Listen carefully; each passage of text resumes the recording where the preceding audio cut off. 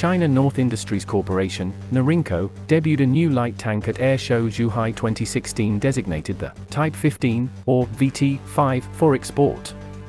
The vehicle was acknowledged by Chinese authorities in December of 2018 and said to have entered service that same time. The Type 15 is a low-cost, a low-risk venture with both the domestic Chinese and global export market in mind, targeting national armies that see more modern main battle tanks, MBTs, as out of reach, budget-wise, but require more firepower and strength than that as offered by multi-wheeled light or light armored tank systems.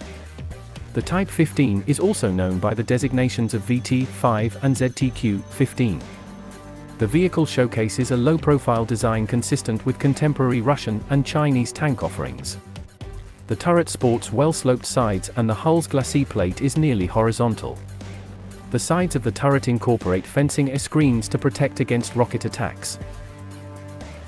The main gun system has no noticeable muzzle brake and a fume extractor is seen near the midway point of the barrel's length. Spare fuel drums are carried over the rear of the hull to help extend the vehicle's base travel range. Over the turret roof is a flexible mounting for 7.62mm, or 12.7mm machine gun installations as an anti-infantry, anti-aircraft measure. A coaxial 7.62mm machine gun is assumed.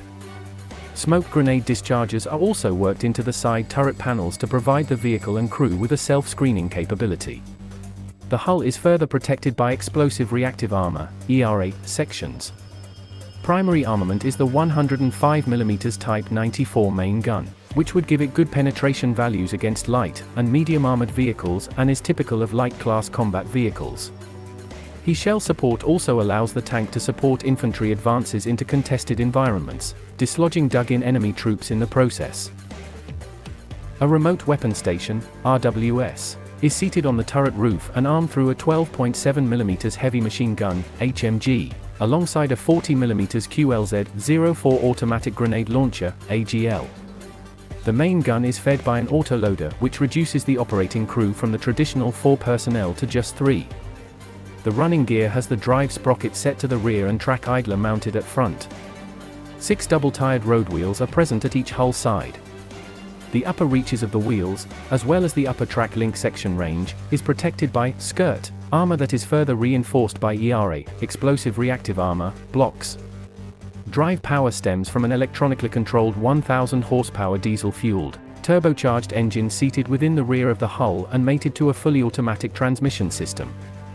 The hull is suspended atop a hydro-pneumatic suspension system offering excellent cross-country travel qualities.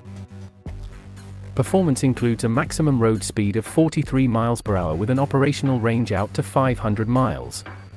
Like other Chinese Soviet Russian tanks, the T-15 most likely has an inherent amphibious capability. Weight reaches up to 36 tons with full armor added. The compact dimensions and relatively light weight of the vehicle allows it to be carried in the belly of a military transport aircraft, and airdropped into action. Beyond these features, the Type 15 carries panoramic sights, night vision support, and an all-modern, Digital Fire Control System, FCS. Armor protection is against small arms fire and artillery spray as well as some smaller caliber field guns. A full nuclear biological chemical, NBC, suite is provided as standard as is an air conditioning system, complete navigation support and command equipment.